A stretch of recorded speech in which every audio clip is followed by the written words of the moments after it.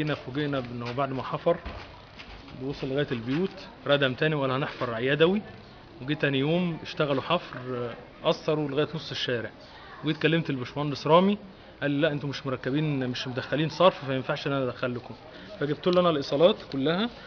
زي ما حضرتك شايف كده إن إحنا مشتركين صرف أهو. وأدي الايصال الكمبيوتر كمان إن هو في صرف برضه أهو. كل البيوت دي موصلة صرف. رحت له قال لي طب خلاص كده معلش بخليها بكرة إحنا هنبدا نحفر للباقي. سنة 1980 من 37 سنة. وأنا باني هنا ومدخل مية ومدخل نور ومدخل صرف صحي. والبيارة مرة من قدام بيتي الاتجاه كمان بعيد عنه بشوية. وجوم بحثوا بتوع الغاز الطبيعي بحثوا وبحث وطوا بطول البيت وردموه بدون مواسير. ردموه بدون مواسير. واتاخروا بعيد عن البيوت دي ورجعوا لورا حوالي 15 20 متر لورا كمان وقالوا إيه إحنا آه، المقاول قال لنا كده الغاز الطبيعي حضرتك فحروا الشارع لحد بيوتنا كلها وبعد كده قابلوا المواسير كسروها. وبعد ما كسروها راح رادمين الفحر تاني ولحموا المواسير لحم عشوائي. وقال لك المرحلة دي هنجيب على ايدينا وطلعوا لقدام. ابتدوا يجيبوا من نص الشارع ويمشوا. طب حضرتك دلوقتي إحنا بنتكلم. الغاز هينزل البلد. مستودعات الأنابيب هتقفل. طب في أكتر من 5000 أسرة في الوسط متضرر. هتجيب غاز طبيعي منين بعد كده؟ لما هو لما جوا ركبوا الغاز فحطوا الحتة دي من اول اول أول نهاية البحث بتاعهم اللي هم ردموه وكملوا عليه. لغاية بيتي هنا فحطوه كسروا هنا الحاجات دي زي ما انت شايف حضرتك اهي مكسره مكسرين وكسروا المية هنا.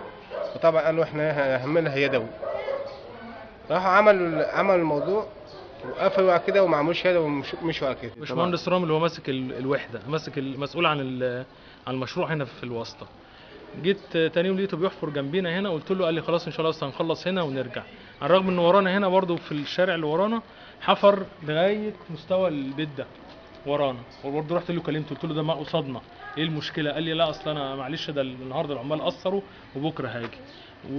وحتى الآن الوضع زي ما هو وحتى المواسير الصرف مواسير المية لما حفروها اتكسرت سايبينها هنا. حضرتك اهي بترشح المقاول قال لنا كده طب وإحنا نوصل إزاي؟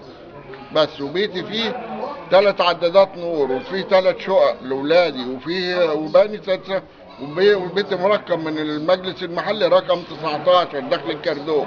هيوصل لهم غاز منين؟ هناخد عربيات ونطلع نشتري الغاز من أي بلد. الانبوبه هتقف علينا ب 200 250 جنيه. ما ينفعش. يتركب غاز للبلد كلها يا تسيب البلد كلها. ده العدل. لكن عشان تعمل عدل بين نص البلد والنص التاني لا لا ما ينفعش. يا جماعة طب أنتوا هتسيبونا ليه؟ هتسيبوا مثلا 8 أسر هنا مثلا أو 8 بيوت كل بيت مثلا فيه أربع أسر أربع أسر مثلا 30 اسره في الحتة دي؟ يعني حتى ما هم هيخلصوا غاز من هنا وهيدخلوا غاز وطبعا مش هينزل مش هينزلوا ال- ال- ال- المستودع هيقفلوه.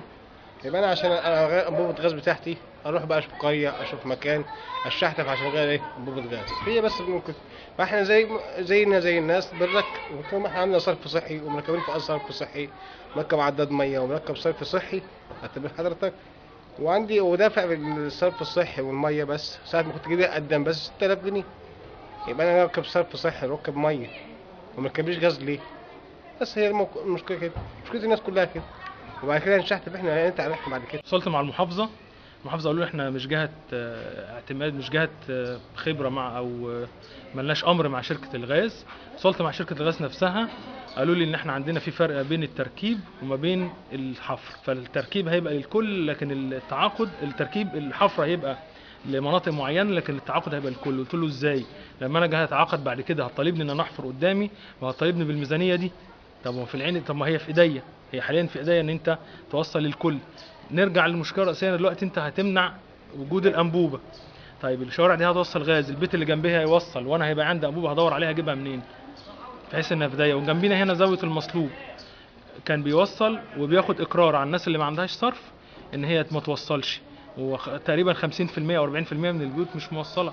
لكن إحنا عندنا عدادات مية وكهرباء اسمائنا عندنا كشوف رسم وترخيص كل البيوت دي. فاحنا كده.